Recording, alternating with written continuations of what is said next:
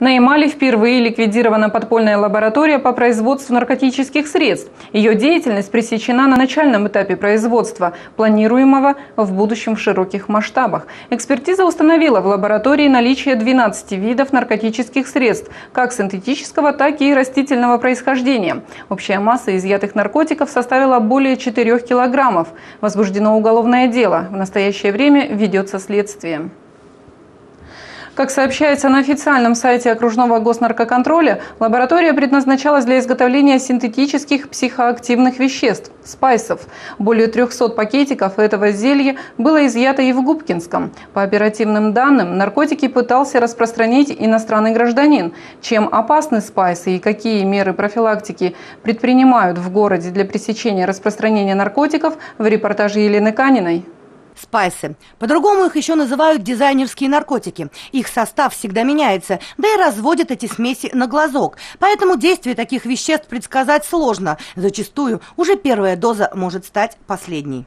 По нашим сведениям, это э, новые наркотики, уже являющиеся наркотическими средствами. Они известны соответствующим органам, внесены в список запрещенных веществ на территории Российской Федерации.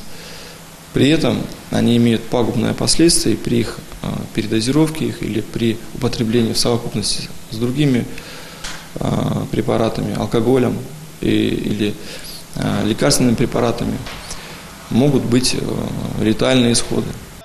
Словам Ростислава Исаева, новая синтетика действует мгновенно. В течение нескольких часов могут случиться необратимые последствия. Несколько месяцев назад в соседнем Пурпе от спайса погибли два молодых человека. Еще троих успели спасти врачи. В городе Губкинском есть такие отравления. Три э, случая уже установлены, когда лица попали в медицинские учреждения. Последствия потребления химии не безобидны. В первую очередь наркотик поражает головной мозг и нервную систему. Человек, принимающий курительные смеси, подвергается паническим атакам.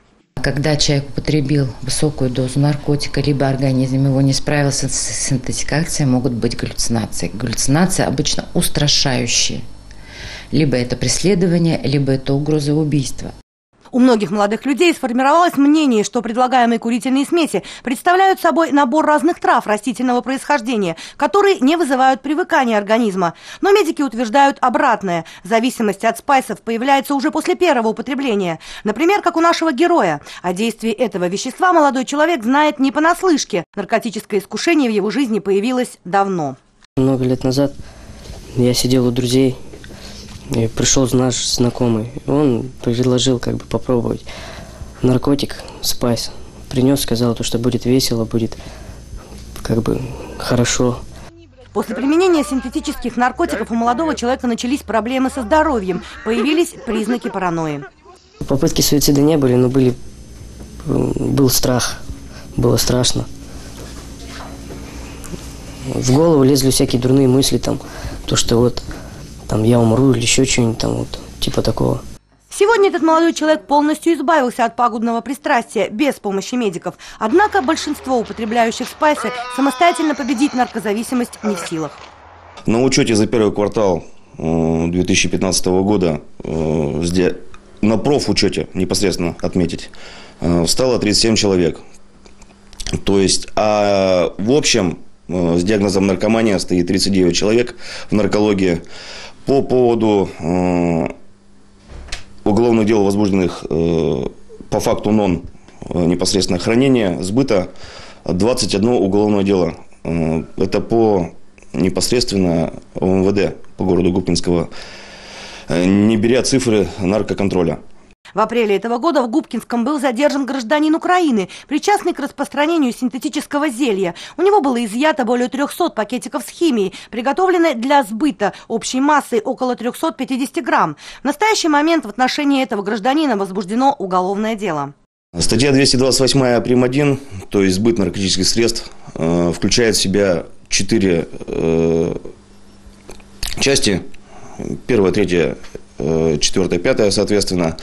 То есть санкции статьи предусматривают лишение свободы от 4 до 20 лет. То есть это достаточно большие сроки. Э, избытчикам, я думаю, стоит задуматься.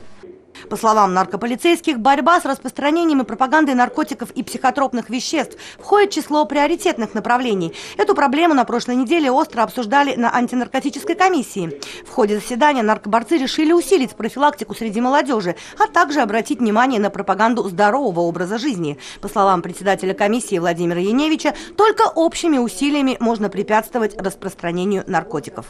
Елена Канина, Денис Гимп, Олег Симагин. Новости Губкинского.